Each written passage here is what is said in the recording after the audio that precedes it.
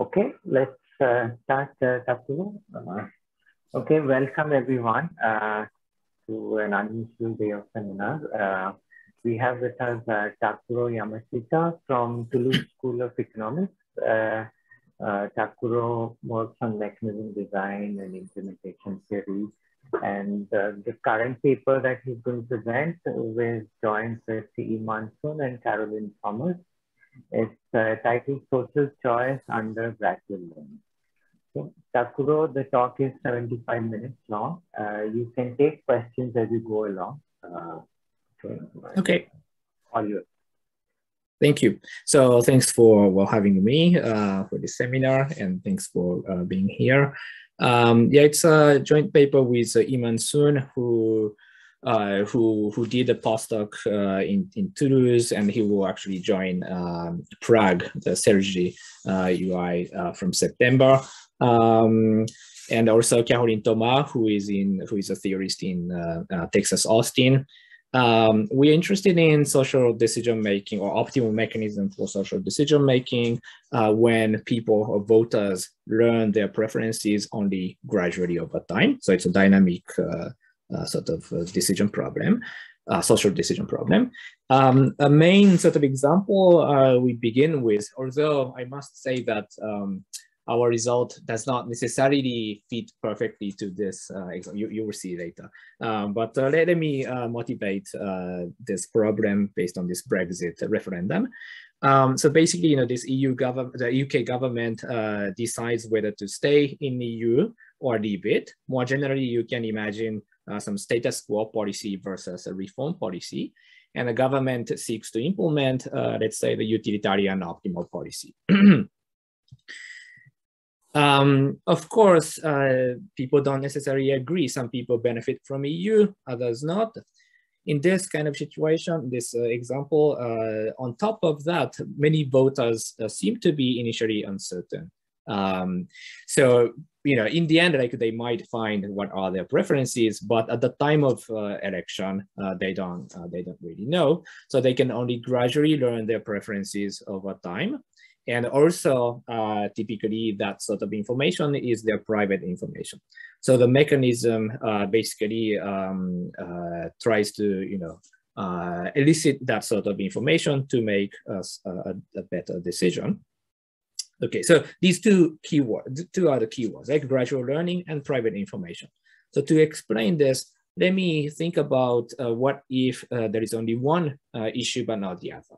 So let's imagine that um, people have private information, like as like their preferences are private information, but there is no learning. Okay, uh, let's say some people know they like EU, some people know they dislike EU. Some people might be uncertain, but let's suppose that they don't learn, okay, at all. In that case, of course, the problem is essentially a static problem. And, you know, uh, we know quite a lot about static uh, optimal voting mechanism, which is basically weighted majority voting. So with, without gradual learning, we know more or less what to do. What about the other case? Suppose that people learn over time their preferences, uh, but uh, not as private information. So that, let's say this uh, gradual learning outcome is a public information. In particular, the government can know what are the signals that people receive.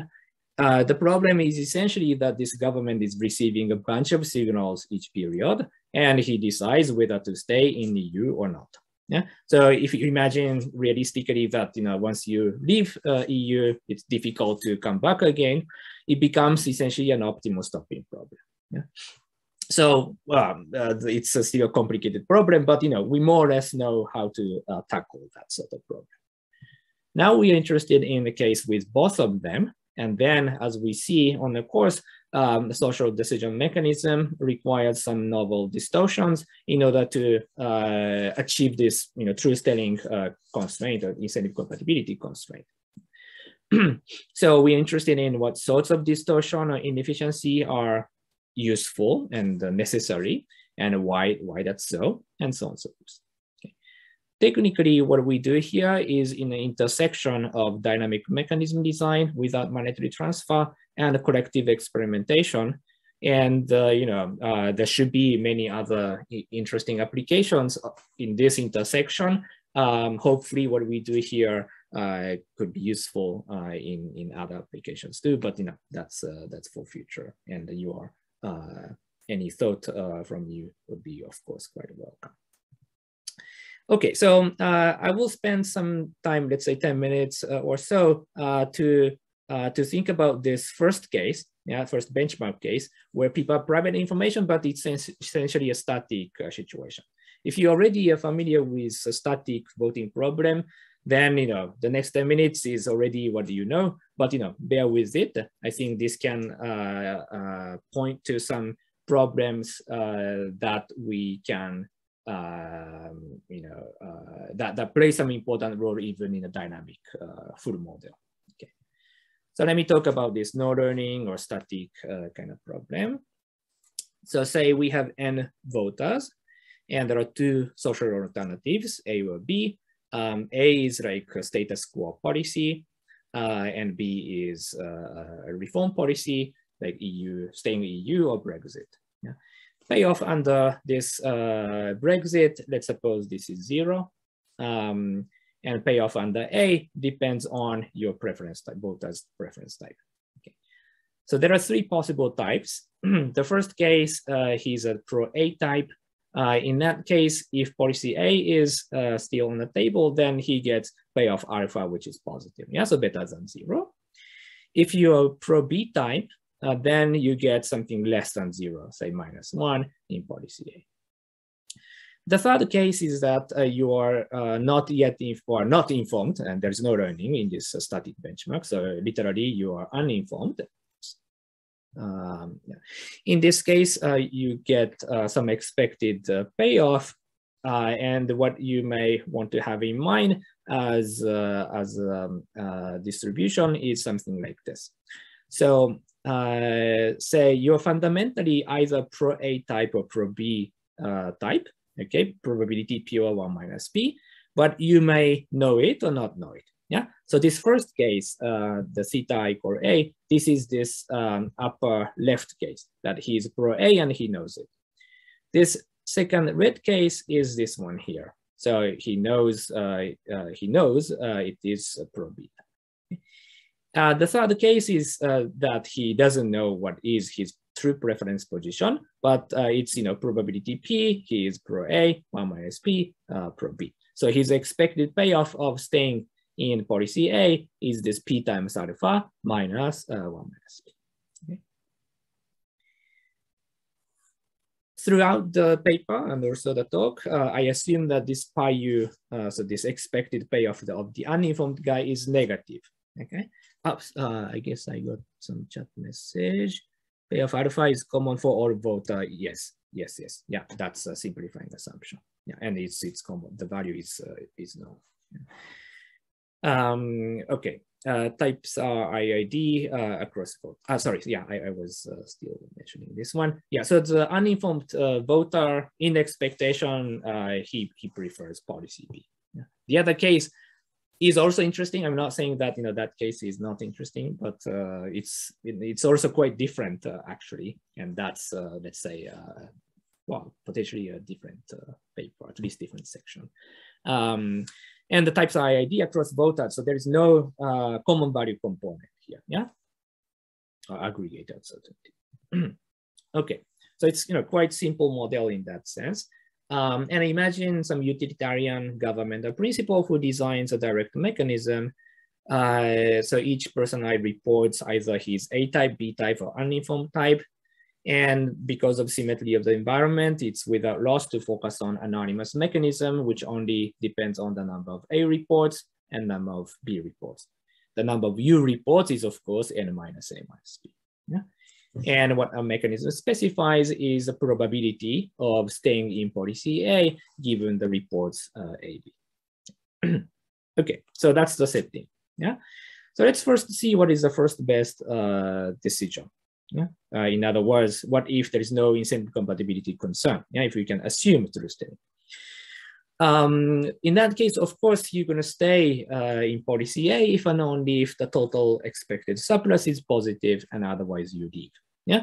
So what is the total expected surplus? Uh, you have A times alpha uh, payoffs you have B times minus one payoffs. And all the uninformed guys, uh, they get pi u, uh, which is negative. Yeah, so if this total is positive, you stay, otherwise you leave. So for example, if you have two voters, um, uh, say alpha is close to one, but slightly less, and pi u almost zero or just slightly negative, um, uh, what happens in this case? Okay, so pi u is almost zero, so this is almost zero, and alpha is almost one. So essentially, like you stay in policy A, uh, if and only if the small a is uh, greater than small b. Yeah, the tie is broken in favor of policy B because uh, alpha is slightly less than one.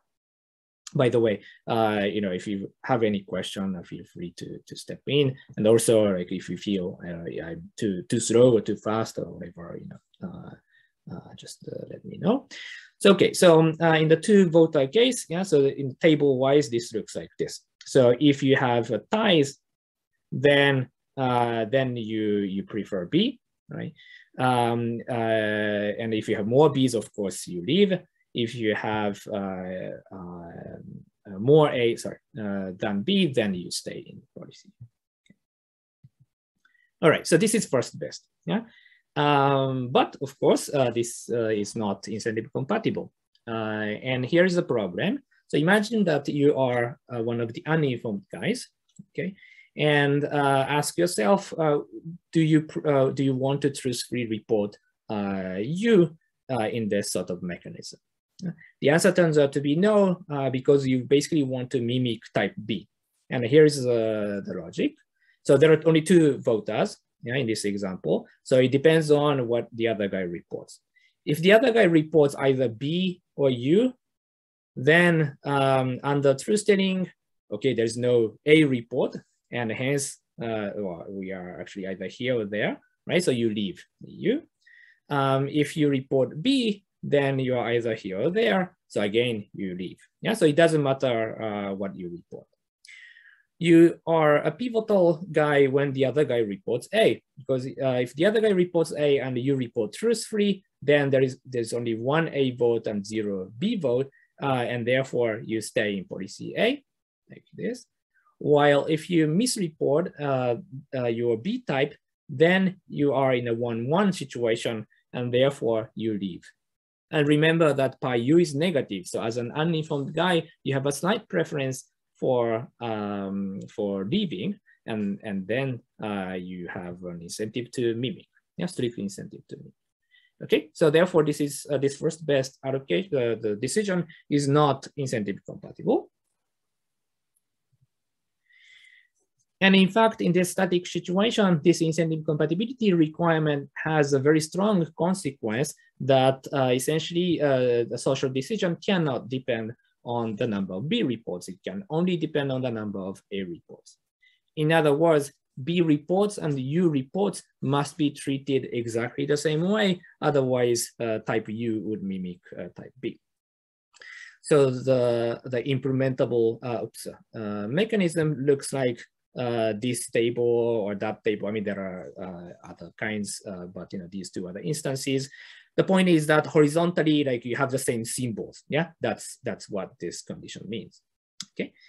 So uh, we may call it uh, A or not A mechanism because uh, in this sort of mechanism, you can essentially imagine that each voter is asked to report either you prefer A or B.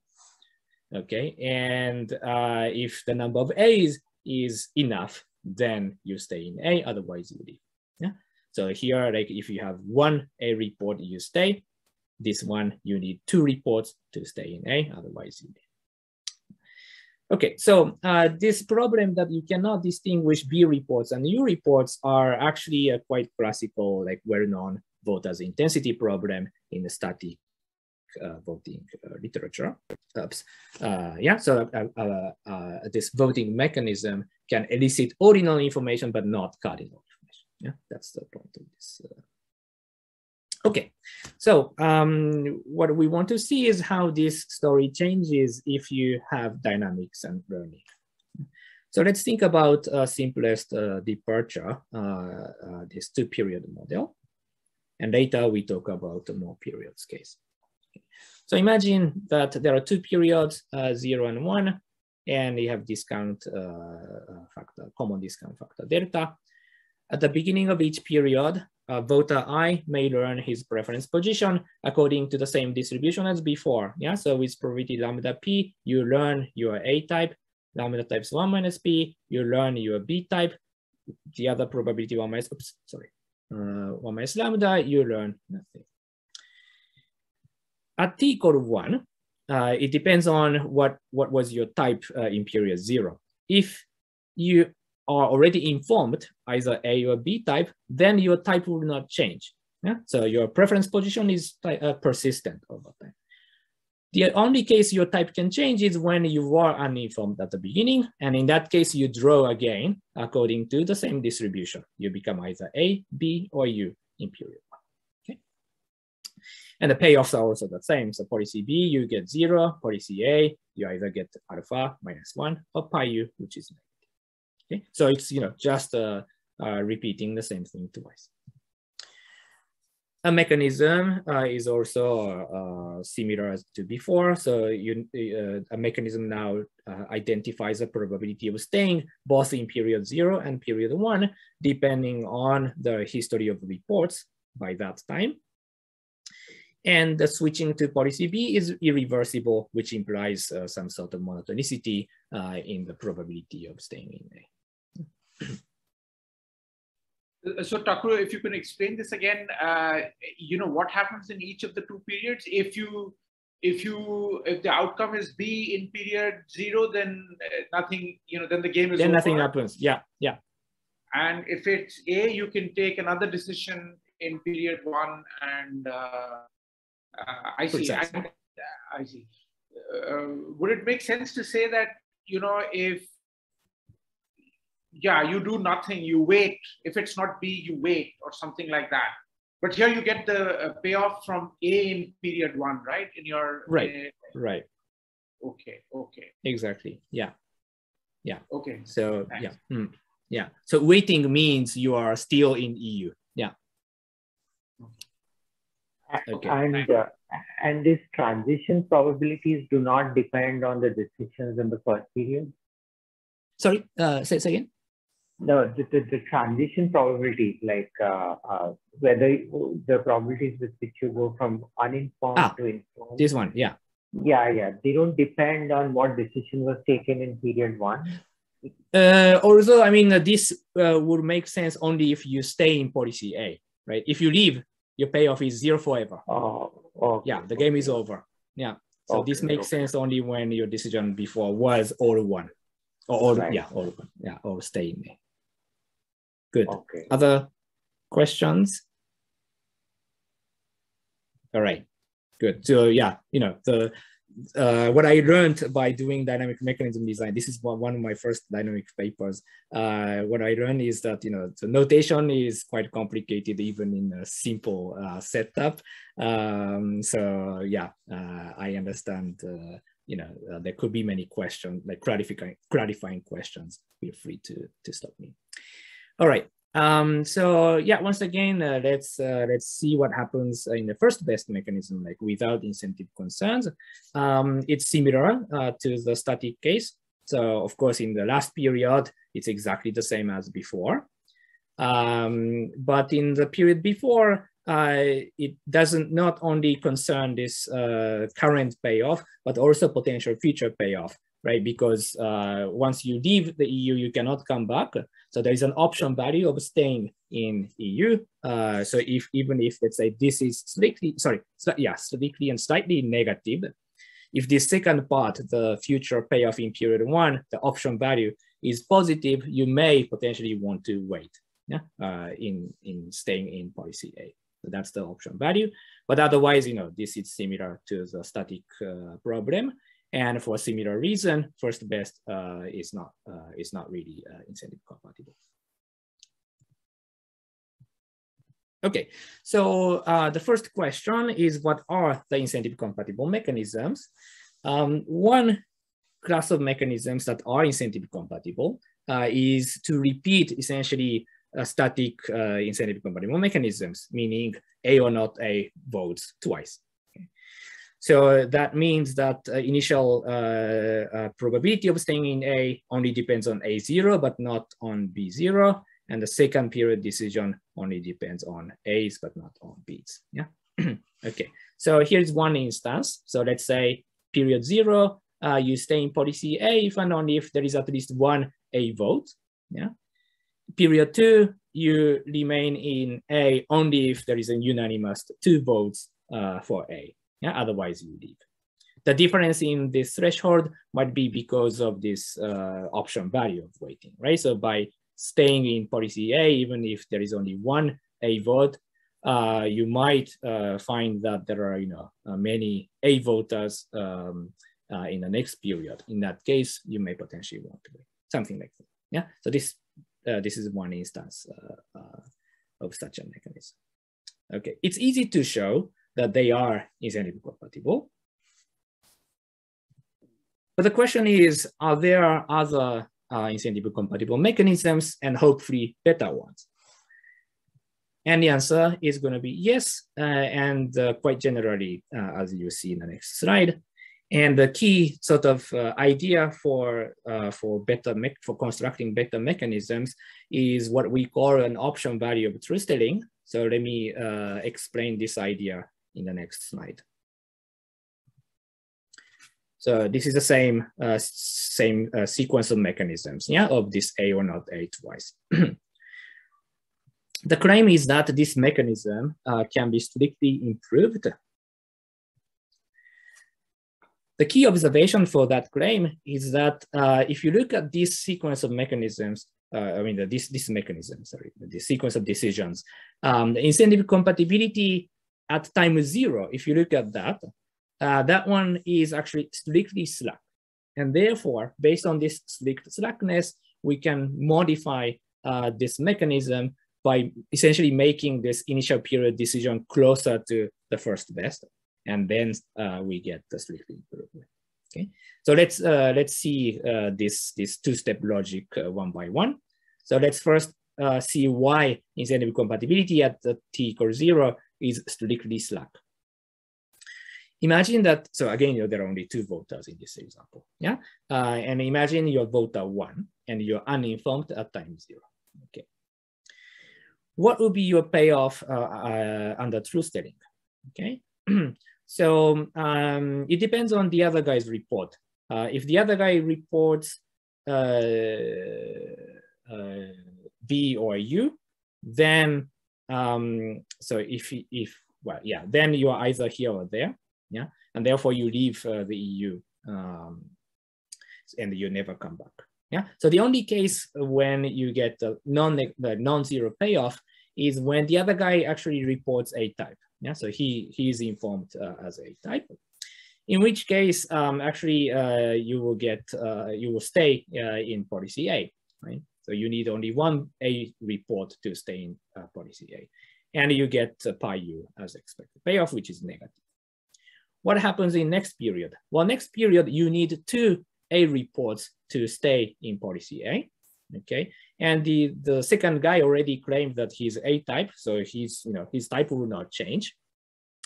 So the only case uh, you can stay in policy A is yourself learning uh, type A. Yeah, in that case, okay, you get uh, uh, you get payoff alpha. Yeah, because your your type is now A. You learned your type. Okay. If you learn that your type is B or you're still uninformed, then uh, then basically you leave the EU. Yeah, so that will be zero. Okay, so this is the only case when where you get something non-zero in second period. Okay, so this is under telling. Now, what happens uh, if you mimic uh, type B uh, at t equals zero? Well, uh, the first period, it doesn't matter uh, because, you know, as, as long as the second guy claims uh, he's A-type, uh, your report doesn't matter, you stay in A, yeah? So you get pi U, yeah? Your true type is still U, so you get pi U, which is negative. Now, what happens in period one? Well, you have already reported that you are, you, are B-type, and the you know the, the the transition is of course such that once you're B type, then you know your type will not change. So once you report B at t equals zero, you you don't have a chance to revise your report anymore. Okay, And what's the consequence? Well, you are treated as B type even in period one, and hence you are in one-one situation, right? So player two says A, you player one says B, and hence you're leaving the EU.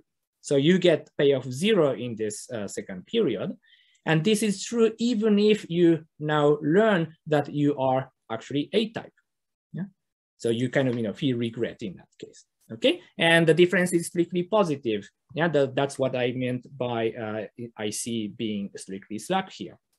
So uh, what's the difference? Well, the difference is that you know by reporting your type truthfully, you keep the option of revising your report next period. Yeah. In other words, you have an option value of uh, truthfully reporting you are uninformed. Okay? So this uh, sort of option value creates a strict slackness.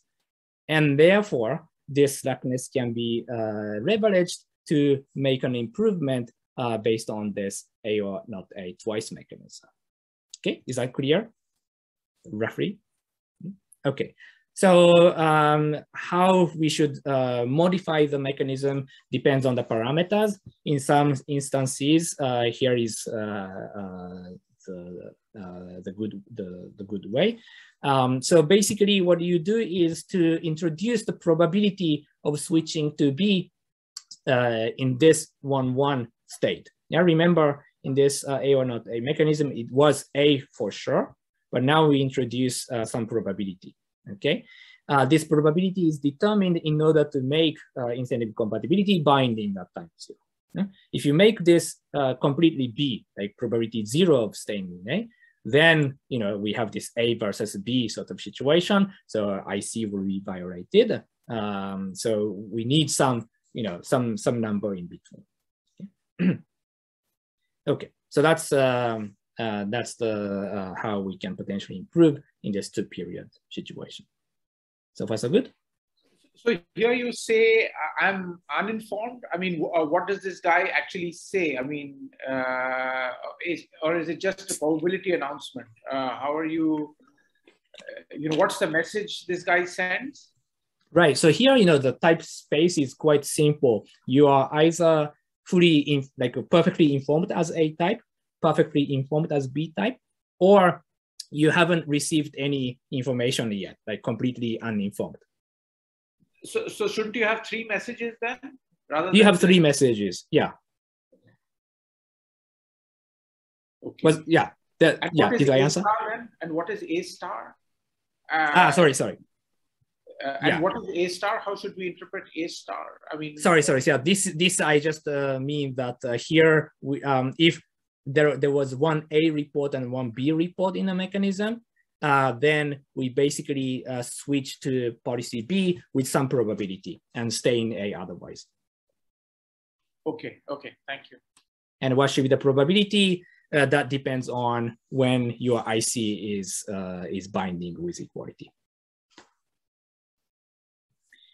Okay, good. So yeah, yeah, question, Aranapa? I just wanted to say thank you.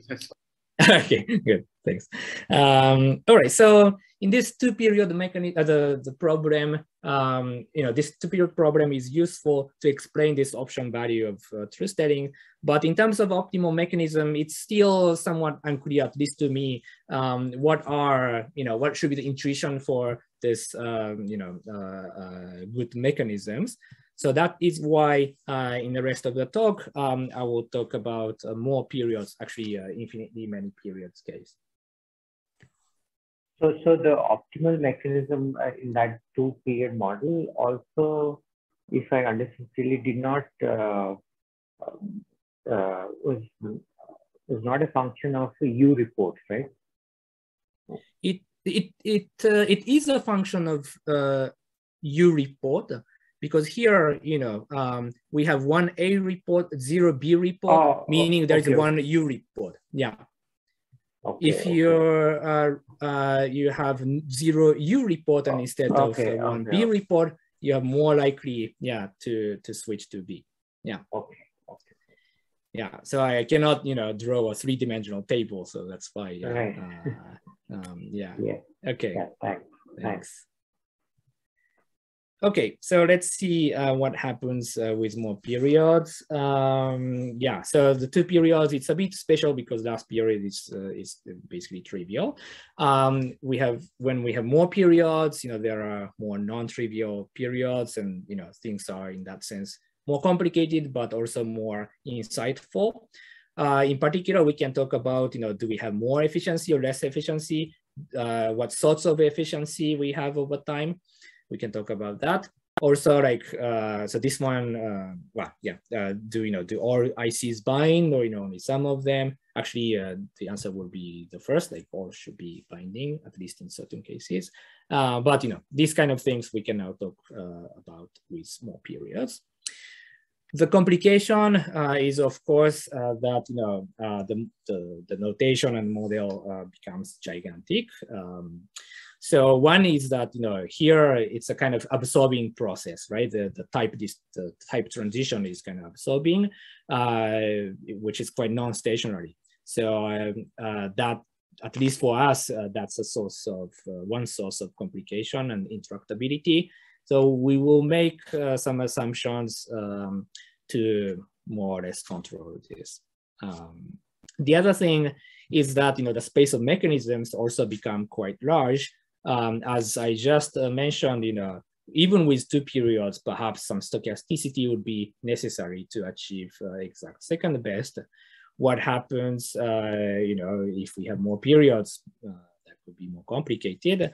Um, the two period case, fortunately, this the mechanism looks like a monotone mechanism in the sense that, you know, you are moving to be more likely if you have more B reports and less A reports. But you know, uh, we don't know whether that's uh, that's always the case. More uh, trouble is a kind of history dependence. I mean, with two periods, even yeah, uh, with more periods, uh, it could be. I mean, I have no idea about history dependence. Actually, uh, we might need some complicated history dependence. Um, so so basically, you know, um, uh, what I what we could do is to give a guess and verify um, approach uh, based on some Lagrangian weak duality uh, idea. Um, so we, we're going to show that you know, some particular class of mechanism is optimal or close to be optimal under certain assumptions based on this case and verify. Um, otherwise, um, I must say that uh, we are still uh, uncertain you know, about what are the optimal, like general optimal mechanisms anyway, so uh, I will report uh, what I what I know or what we know. Okay, so the model is a simple like natural extension of uh, this one period, two period model. So now we have uh, more periods with this discount factor delta. At each period, at the beginning of each period, person I learns either type A, B, or U. Once you learn A or B, your type never changes. Yeah, only if you're uninformed, um, you draw the same uh, uh, same thing. And the payoffs are also the same, either zero in policy B, uh, which is irreversible, uh, or alpha minus one or pi u, depending on your type in policy A. Okay, okay. good. So uh, for the next, I think 10 minutes or so, uh, let me talk about uh, the small number of agent case. In a more agent case, I will come back later. Um, so let's assume there are only essentially two agents, but the, the three agents, uh, um, it's confusing. Uh, let me say three agents first, okay? While uh, agent zero is already, for some reason, publicly known as A-type, okay? So essentially there are only two real agents, uh, agent one and two, okay? Um, this is, you know, basically to make the, the principal slightly prefer policy A relative to the, the utilitarian, okay? Um, so alternative, you know, assumption you can make is to say that, okay, directly we assume principal is slightly biased toward A, uh, rather than assuming there is this uh, fictitious agent zero, um, but uh, either way. Um, actually, we don't even need uh, agent zero, but uh, uh, assuming agent zero or slight bias for the principal will simplify some story a little bit. So, so therefore, I, I assume that. Okay, good. So when I talk about the table like of zero, one, two, it's I'm always talking about real agent one or two. Yeah, for agent zero, he's already gone. Okay. All right, so uh, the, in terms of the parameters, let's let's assume that alpha is slightly less than one, but close to one, and uh, pi u is negative, but close to zero, uh, the same as before. And uh, more important assumption is that uh, lambda and delta are small. So the lambda is the probability that person learns his uh, true preference position. Yeah. So the small lambda means that learning happens, but very slowly. And also delta is small, meaning that, uh, well, people are not, uh, not very patient, okay? Under these assumptions, if you look at the first best, the first best is actually a stationary policy, uh, which is to stay in uh, policy A if and only if um, uh, you have more or equal uh, A votes uh, to uh, B, B reports. So now we have A's yeah, in case of tie instead of B's uh, because of this assumption that you know the, there is this additional agent who is already uh, A type. But otherwise, it's uh, it's similar to before. Okay, and for a similar reason, IC would be violated uh, if you uh, if you consider the first best uh, mechanism. Okay, so far so good. Good. So um, here is the description of the second best mechanism. And later I explain uh, some intuition for this. So let me first describe this uh, mechanism. The optimal uh, IC mechanism has this T star, some finite number, which uh, I may call a deadline or election date. Before this deadline, it looks like this left table. So most of the cases you just stay in policy A.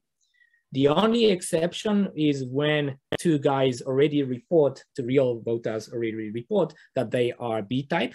In that case, there is some probability of switching to, uh, to policy B. Okay? Otherwise, you stay.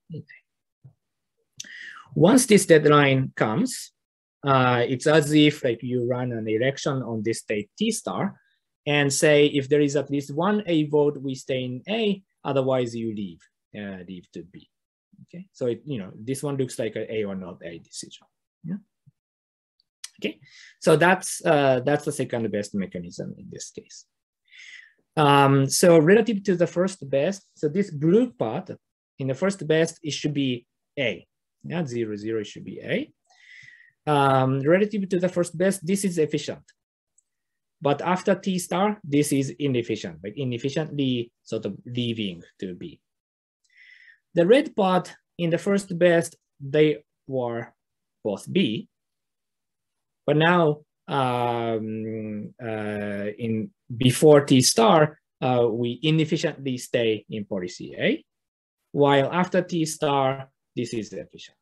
Okay, so what we observe is a very sort of different um, combination of uh, uh, uh, efficiency or inefficiency in decisions uh, over time, right? So there is a threshold date before we have inefficiency uh, uh, of this kind, and after we have inefficiency of that kind. Let me explain a bit more carefully regarding the comparison. So let's first compare this second best mechanism uh, relative to uh, the A or not A at every period, kind of, you know, the, the, the, the, the repetition of static IC mechanisms. Yeah. Relative to this, so it looks like that, uh, except that we have stochastic uh, switch uh, uh, in case of zero two state, right?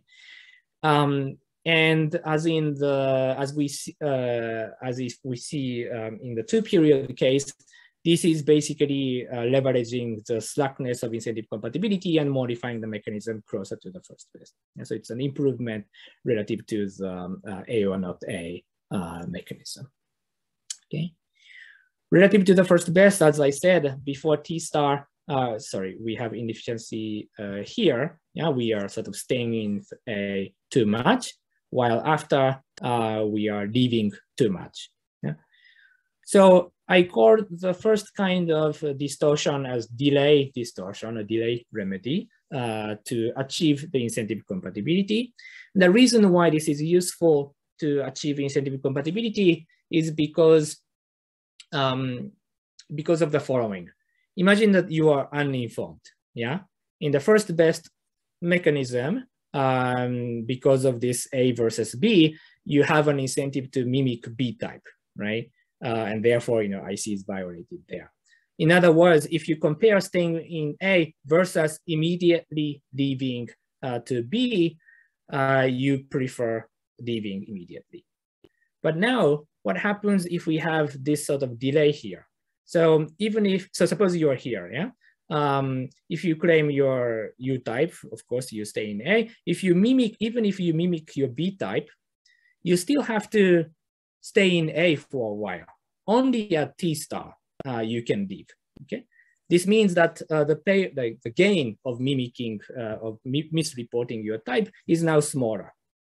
On the other hand, you always have this option value of truth telling. Like you may learn that you are potentially A-type in some future before T star. And that sort of probability uh, is now uh, getting more and more important for you uh, as you know this uh, this delay is uh, uh, is getting um, you know as you have more delay. So this basically implies that you know you have more incentive to stay in true state. Okay. Another way to say uh, question? Oh, not really. Okay. Uh, another way to say is that you are, in some sense, punishing the too early B reports. Yeah.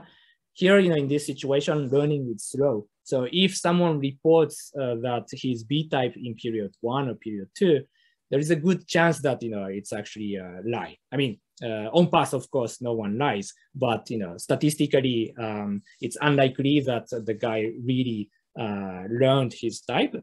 So by saying that, okay, uh, I take your comment, but you know, uh, we still wait in uh, policy A for you know for certain periods. That way, we are essentially punishing this uh, reporting agents. Okay, so that way, you know, uh, so that's one useful remedy here. What about the other inefficiency? So after uh, T star, you are now leaving policy A, even if um, uh, uh, even if you know people report uh, uninformed. And this is kind of you know carrot part of carrot and stick policy. So imagine once again you are uninformed, okay? And as a special case, let's imagine that you your time t, t star minus one. Yeah. So tomorrow uh, you'll be uh, oops, you'll be here, but uh, today you're still here. Okay. Now, if you claim you are uninformed, um, you have to be in policy A. But tomorrow, even if you don't learn your type, uh, you know, whatever type, you can for sure leave to the EU. So once again, you have less incentive to mimic type B. Yeah? At the same time, in this last period, you still have a chance that you may learn your A type tomorrow. And in that case, you want to stay in policy A. So this option value still exists. Uh, and therefore, you know, uh, this sort of um, deadline uh, remedy is useful uh, to give more incentive. Yeah, so these two kinds of uh, incentive uh, tools are effective to, to achieve the incentive compatibility here. So that's the more or less the intuition that I can give regarding this mechanism. Is it clear? If you have any question, feel free to step in. Okay. Um, so I have uh, how about, yeah, sure. I have a question about the discount factor. So this result also meets the fact that delta is close to uh, zero. Is small, yeah, not too large at least. Yeah. Yeah, yeah, okay. And, and so this delta is the same for the planner and the agents, yeah. right? Mm -hmm. Yeah, yeah, and same for everyone. So the planner would like to get the first best in the earlier period. Mm. Yeah, yeah. I mean, yeah. If it will turn out that many people are B types, then yeah, it's better to uh, leave early. Yeah, exactly. Yeah, but you know, um, in this sort of uh, stopping problem, assuming delta too high is uh, is actually somewhat um, uninteresting because you know the option value oh. becomes larger and larger, yeah. right? Oh. So you always want to stay in some sense, yeah, until right. you perfectly learn everything, yeah. So some upper bound is necessary, but I mean, uh, what we are assuming is a bit more than that, yeah, I must say. So we need radius, I mean, not too high uh, delta, yeah. Okay. Okay, thanks. Um, okay, so uh, yeah, given so how how am I doing? I, spend uh, forty seven minutes or something like that. Yeah, so you have about uh, 25, 28 minutes. So about okay. Half, half okay, great. Yeah. Mm, yeah, thanks. So let me briefly uh, go over the proof idea. This is, of course, you know, not at all the complete proof, but you know, this is a way to um, uh, I mean, you know, I, I like the, the proof. Uh, so I want to share this uh, enthusiasm a little bit with you. And I hope that this sort of idea could be potentially uh, useful in other dynamic uh, mechanism problems. So um, I hope uh, this will be useful in that way for you too. Okay, so basically, so here is a um, two-step procedure that I implemented to, to prove this result. The first step is to show that uh, what I describe here uh, satisfies all the incentive compatibilities uh, with equality. Yeah, and this is not, you know, this is more or less a by continuity argument. Uh, so I will skip the detail, uh, but you know, uh, just trust me that this this is possible. Yeah, by choosing the probability at each period appropriately. So that's one. What's the second step? Uh, the second step is to set up a Lagrangian. So uh, we have, you know, basically linear objective and linear uh, uh, constraints, right? So the, the linear programming approach would be useful here. So uh, we have basically the objective, the total expected welfare, plus the multiplier times each period incentive compatibility constraint, yeah, which is uh, basically the difference between the true string payoff and the payoff the uh, B mimicking, yeah.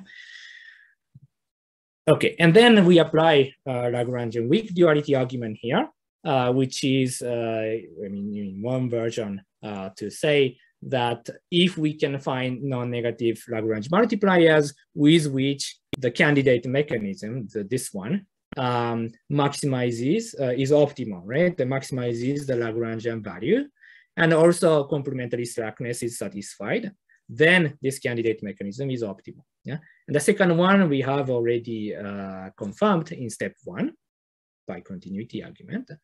Uh, and this uh, first one is, uh, well, I mean, basically, you know, uh, we, we have to do a guess and verify for the construction of multipliers uh, to, to make this candidate mechanism optimal. So that's, that's how we do. Um, and, um, you know, this, of course, like for those who, who are familiar with linear programming, this is, you know, sort of 101 linear programming uh, trick, but I think this, this can be quite useful uh, more generally in dynamic mechanism design. Okay, uh, so yeah, uh, I skip the detail and move on to the more agent case. so uh, with two plus so one just, agent, yeah. Just a question. Sure. Uh, so, so in the, can you go back two slides? So Uh, so the slide before this. So the first step basically shows that in any optimal mechanism, all the IC constraints bind. Is that what you said? No, um, no, uh, no, I didn't say that. Um, so what I said is, uh, if you look at that uh, mechan this mechanism, this class -huh. of mechanisms, uh, then we can make all the ICs binding. So this is possible. This doesn't okay. still verify that this is optimal, but you know, this satisfies all of them with equality. Oh, okay, okay. And now this second, uh, uh, this lemma says that if that was the case, and also if we can find some multipliers with which this candidate mechanism is optimal, given that multiplier vector, then like the, the combination of these two guarantees that this is, is an optimal mechanism. Okay. Right. So uh, you know, a priori it is possible that an optimal mechanism does not satisfy all of them with equality. And in that case, the fact must be that we cannot find such multiplier vector which has these two properties. Uh, here in our problem, we could find such one. So, so that's, uh, that's what we showed. Yeah. Okay. Does that, yeah, is it, is it clear? Yeah, clear? Okay, thanks. Good. So um, yeah, uh, what happens with uh, more agents? um, yeah, okay. Uh, so assume something similar, yeah? So alpha is less than one, but close, uh, pi is negative, but close to zero. And also small lambda and delta. Actually, um, what we can show is, so we, we don't know what is optimal mechanism with general M here. Uh, what we can show is that some similar mechanism uh, is approximately optimal, uh, which is basically a modification of A or not A mechanism uh, with delay and deadline remedies. Um, yeah. And we, uh, so I, am going to explain why, you know, what's the sense of approximate optimality and why we think that is a useful result. Okay. So let's now imagine uh, n uninformed voters and the sort of fictitious m a informed voters, or if you like, you know, the principles is uh, is biased in certain way. Um, here, like we, I assume m equal one, so there is one a informed voter as before, like voter zero, and even uh, uninformed uh, voters here. Um, yeah, so the, the, the previous case was a special case with n equal to. The other cases uh, are sort of qualitatively similar. Uh, I'm not going into the detail. okay, so here's the, the mechanism that turns out to be uh, approximate optimal in certain sense. So it's, uh, it's a generalization of the previous uh, mechanism. Let me explain um, uh, you know, bit by bit. Uh, so now it's slightly more complicated in the sense that it depends on what is the number of A reports we already have uh, by time t. Yeah. Um, before, well, okay, yeah. So that that that's the the main difference or main complication. So let me explain uh, the easiest case. So if we have already uh, the number of A reports, which is greater than the majority, then, you know, basically we can stay forever in policy A. Yeah, we are in a safe region. If the number of A reports is before this uh, majority, then what happens is similar to the previous mechanism. So there is some uh, deadline or election date, T star. Uh, before or after T star, uh, basically, um, you know, it becomes or B in that row, okay? And before T star, um, you have, uh, you stay in policy A if uh, the number of B reports is smaller than some threshold. You leave if it is above, and perhaps some probability of staying if you're exactly at that threshold yeah, to, to make ICs binding. And the difference is that this uh, election date, this T star, um, depends on the number of A reports which has happened uh, so far. And this T star is increasing in A, and this threshold uh, value B is increasing in A and decreasing in T. So uh, basically, like the uh, what you can imagine is that there is an election date, yeah, T star, which is determined according to um, how much A reports or B reports uh, made by uh, by them. Yeah? If you have more A reports, you uh, you postpone the election date. Um, if you have more B reports, then you uh, make it forward. Um, and once that timing comes, then you just look at whether you have uh, enough A votes or, uh, or not. And in the second case, you leave the EU. So it's, uh, well, it's a bit more complicated, but you know, has a similar flavor as before. And a similar inefficiency as before in the sense that um, before this uh, election date or deadline T star, um, you are basically staying too much relative to the first best. Um, and after uh, this deadline, uh, if you're leaving too much relative to the first best. So that's the delay and deadline uh, remedies. Okay, ah, so yeah, I forgot to uh, talk about implementation in the two plus one agent case. Um, uh, but it, yeah, perhaps I should first, uh, can I, oh, why I missed that? Uh, yeah, so let me first uh, talk about in interpretation or implementation of the second best mechanism in this uh, two plus one agent case, and then uh, talk about more agent case, which is uh, somewhat similar. Um, so remember this was the two plus one case. And the interpretation is that this T star, this deadline T star is basically an election date, okay? And um, so at this election date, we do this A versus not A kind of uh, uh, election. And if we have at least one A vote, we stay in, in policy A, otherwise we leave. Before that, we are basically waiting uh, A, sorry, waiting T star by staying in A, but there is one exception, which is when there is uh, enough B reports. Yeah, in that case, we switch to B with some probability or with some delay. So uh, you can imagine that it's a kind of election plus petitions. Um, if you have enough petitions for leaving, then you front load the decision uh, without waiting uh, until T star. In the other cases, you basically wait until this uh, fixed election timing in T star, and then you do this A versus not A election. Yeah, and it's similar here. Oops. Um, except that this T star now depends on A, the number of uh, uh, A reports or the number of A petitions. Yeah. So if you have many A petitions, you postpone uh, more and more direction dates. If you have more B petitions, you front load it. So that's the, uh, that's the idea. Okay, so uh, let me explain what do I mean by approximate optimality and why I think this is a useful result, and then I conclude. So here is, uh, here is the claim. So we are looking at the fraction of two things. Yeah? And uh, you know, remember the assumption that lambda is small. Uh, this is in the order of lambda. So if lambda is small, this fraction is small. Okay? So what is this fraction? The numerator is basically the difference between exactly optimal mechanism and approximately optimal mechanism or the mechanism just I, I just described here. Yeah. So the, the difference in the performance uh, is this uh, numerator, okay? Of course, I don't know what is the exactly optimal mechanism. Yeah, if I do, uh, I don't need this approximate uh, optimal res uh, result. So what I can uh, get is an upper bound of this orange. Yeah, so that's uh, that that will be here.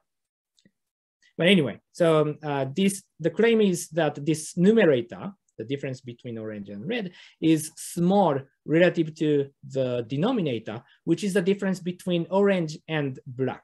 So black is what you can achieve under optimal A or not A uh, repetition mechanism. So this red and black, it basically um, I, uh, identifies how much improvement you can make uh, based on this sort of benchmark mechanism. The claim is that uh, if you look at this delay and uh, deadline remedies, you always, uh, sorry, you already achieve quite high fraction of uh, the achievable, potentially achievable improvement. Yeah. So there could be additional jump you can make by considering, I don't know, more complicated history dependence and so on and so forth. But um, when lambda is small, that additional step does not make uh, too much difference um, relative to what you have already achieved by delay and deadline. In other words, uh, based on this, I want to argue that delay and deadline remedies are quite important, significant uh, as, a, uh, as a tool uh, to have an improvement. Okay. So, you know, that's an excuse uh, for not getting the exact optimal mechanism.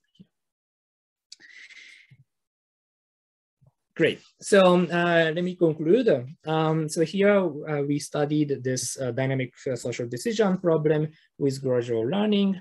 Um, first best is often impossible, similar to the reason in the static literature, but we can do better in the dynamic situation than just repeating static optimal mechanism. So that's you know the, the interesting aspect of this dynamic problem. And um, in particular, the key sort of concept uh, we identified is this option value, value of truth telling.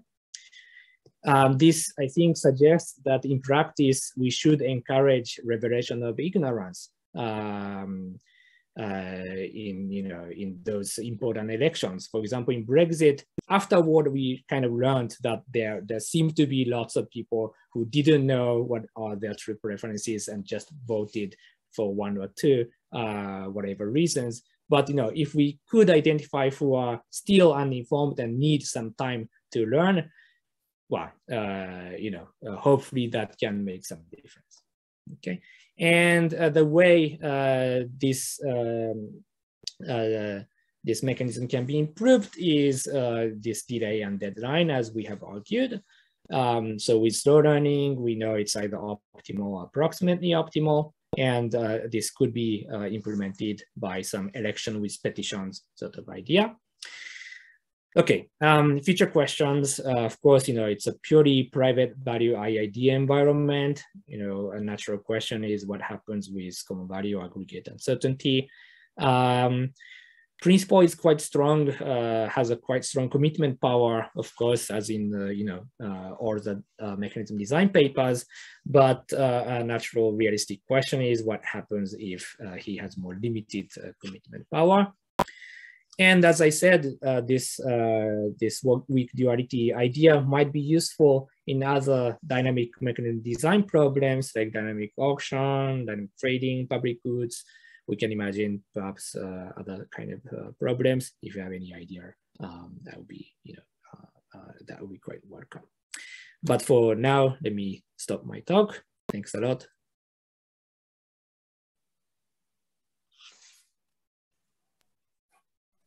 Thank you. Thank you, Takuro. Uh, are there any questions? Uh, thanks, Takuro. This is a very interesting model and very interesting Thank result. You.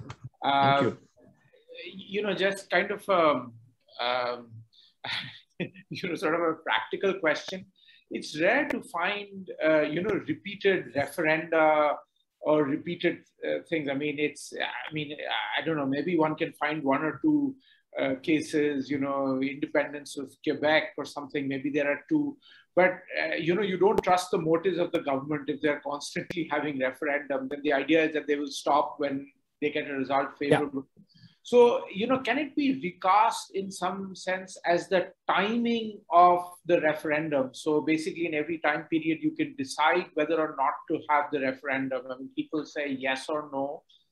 And then at some point you have the referendum, but then the results are binding. You know, it's, uh, uh, you know, is there just some way to recast messages or something like mm. that, make that the same problem? I mean, or not? I mean, um, so I don't think in general, well, okay, um, let me see. Yeah, I don't think in general it's uh, it's the same problem uh, because, uh, you know, um, uh, so your, um, your story makes more sort of uh, constraint on the, the principal side, right? What, uh, what we can do.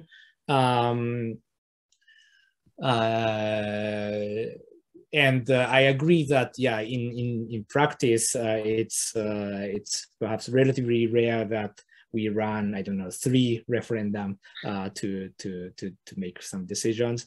Um, but uh, so yeah, actually, like um, one thing I want to mention is that you know this sort of the, the second best mechanism that we found here has some uh, flavor uh, uh, to you know uh, of what what you're suggesting that so imagine that you know by referendum or by election uh, it basically uh, either voting for A or B and the result is kind of um, uh, uh, forever yeah so you know once it's determined you don't change the policy um, this this is like this so at T star you decide either to forever stay in A or leave for B forever. Uh, but before um, we just wait until this T star uh, with the possibility that people make some voices uh, through, let's say, some petitions.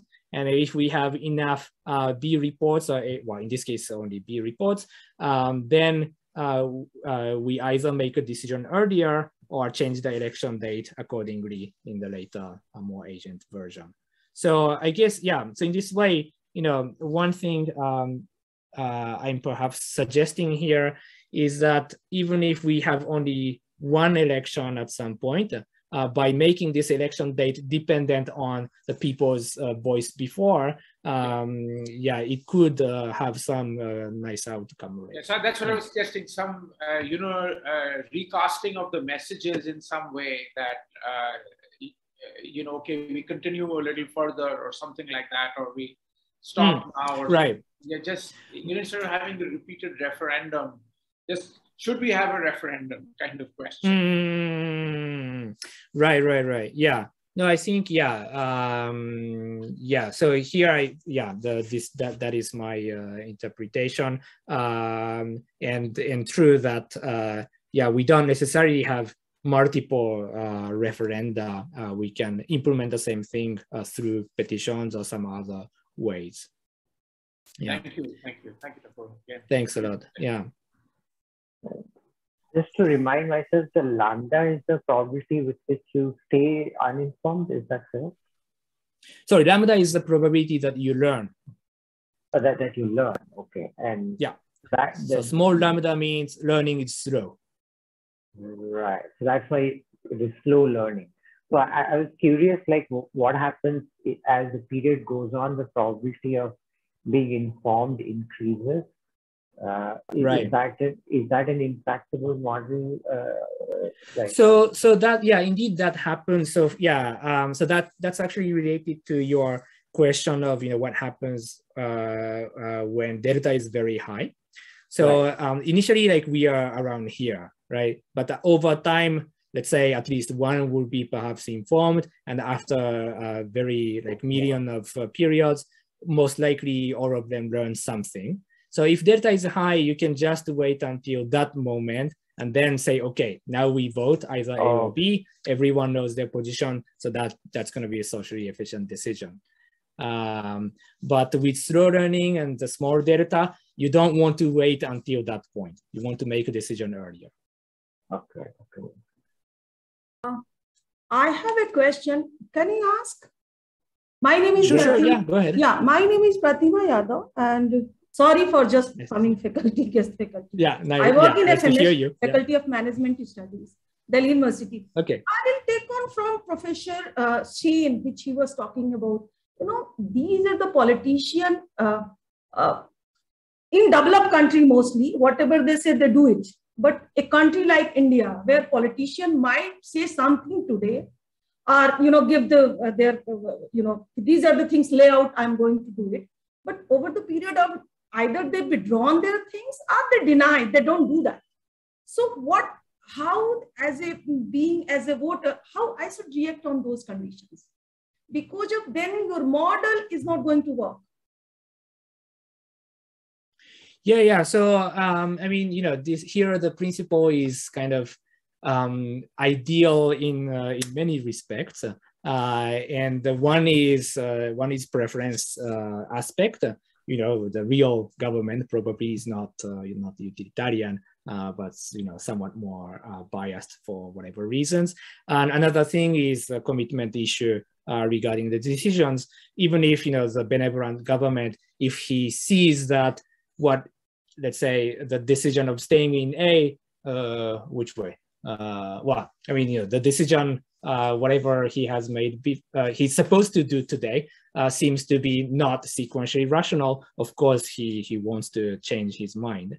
So um, uh, in this way, you know, um, uh, the, the model or the results here is describing the kind of benchmark of uh, what kind of um, inefficiencies are sort of not not avoidable even if you know the principal is uh, that sort of ideal entity and if you know this uh, principal or government uh, whoever is more sort of realistic uh, in in several dimensions yeah that's uh, that's uh, that's a different question. I mean that's more practically important i agree. Thank you. Thank you. Thanks. Any other questions?